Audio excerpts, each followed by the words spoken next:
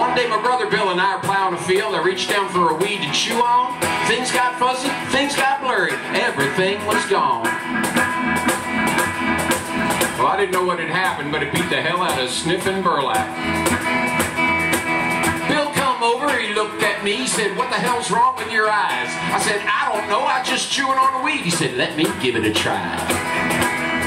Spent the rest of that day, most of that night, looking for my brother Bill. Finally found him, it was two the next morning, he was naked, singing on the windmill.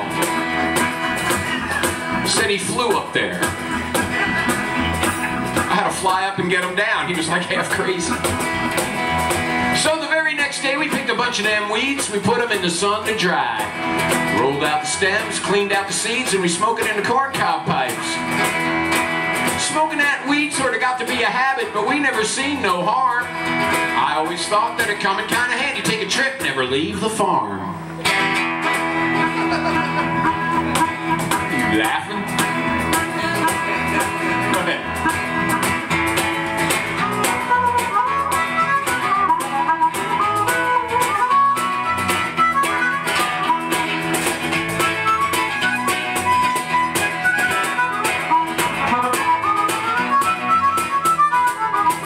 Good things gotta come to an end. It's the same with a wildwood weed.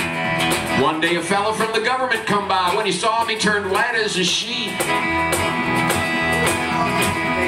Well, they burned and they dug and they dug and they burned and they killed all our cute little weeds. And then they drove away. And we just smiled and waved, sitting there on that sack of seeds.